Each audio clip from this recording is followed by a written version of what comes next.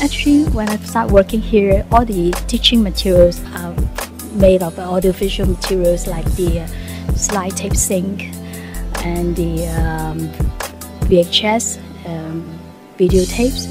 And nowadays, everything turned into um, IT technology from computer, so it's a good difference.